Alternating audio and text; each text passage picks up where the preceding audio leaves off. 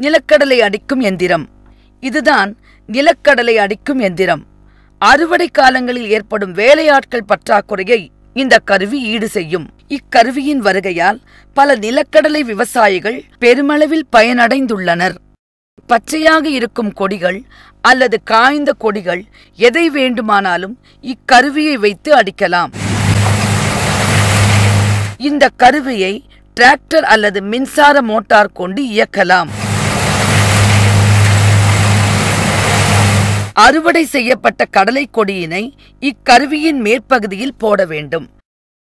கடலை கொடி பிரிக்கப்பட்டு ஒருபுறம் தள்ளப்படும். நிலக்கடலை கருவியின் கீழ்ப்புறத்தில் வெளியேறும். சேகரிக்கப்படும் நிலக்கடலையை மூட்டையில் கட்டிவிடலாம்.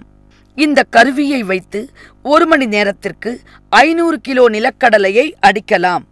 இக்கருவியுடன் சக்கரம் பொருத்தப்பட்டிருப்பதால் இதனை பண்ணையில் எங்கு வேண்டுமானாலும் எளிதாக எடுத்துச் செல்லலாம்.